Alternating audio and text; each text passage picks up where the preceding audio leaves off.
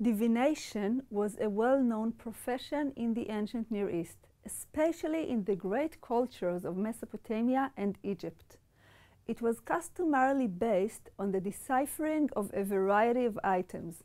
Diviners read stars, meteorological phenomena, land formations, oil poured on water, incense smoke, flowing water, and bird flight. But the most common method was reading the internal organs of animals, primarily a lamb's liver. Divination was regarded as a science. Its practitioners were skillful professionals who made use of detailed manuals explaining how to reveal the future by interpreting the relevant object. Here is an example from a Mesopotamian guide to reading animal livers.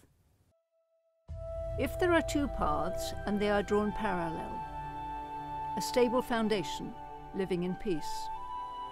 If there are two paths and the second one is bent and points to the normal one, weapons that were not brought inside will attack the prince. If there are two paths and the second one is bent and points to the normal one, and a hole is placed between them, the foe will be defeated in battle.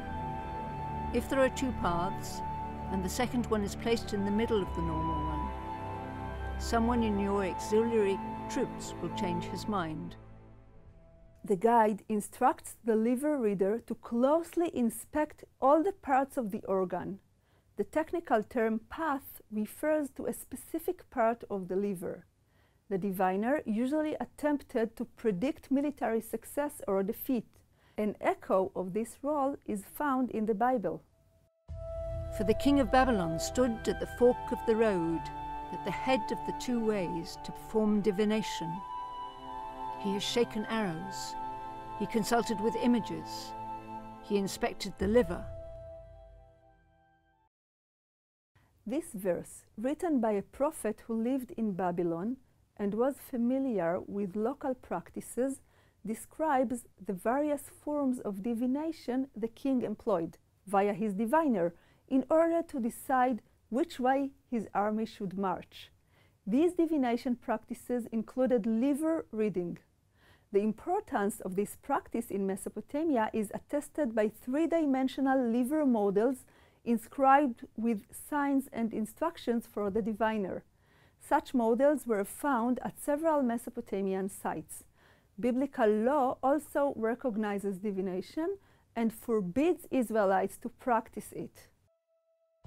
You shall not practice divination or soothsaying.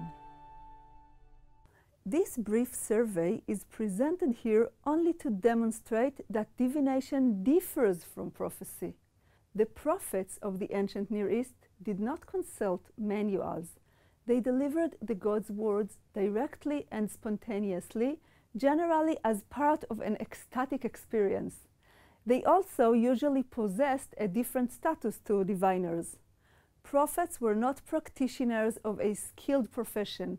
They had no intellectual qualifications and they belonged to different classes of society. Diviners were often intimate with the kings and frequently served in the royal court.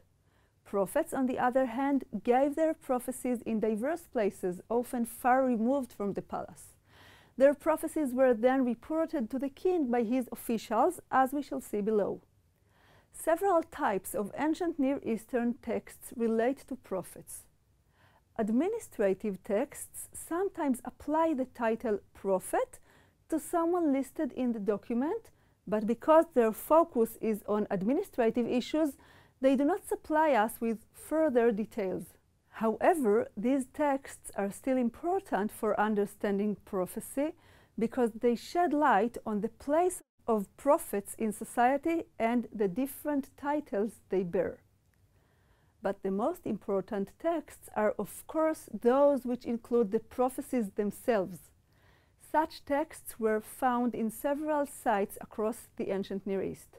Let's begin with Mesopotamia. Two main Mesopotamian sites supply us with texts related to prophecy the cities of Mari and Nineveh. Each of these cities was active in a different era of Mesopotamian history. The prophecies from Mari date to the 18th century BCE. The prophecies from Nineveh are much later. They largely come from the 7th century BCE. In the next lectures, we will present some prophetic texts from Mari and Nineveh and discuss their nature, their background, and their contribution to the understanding of biblical prophecy.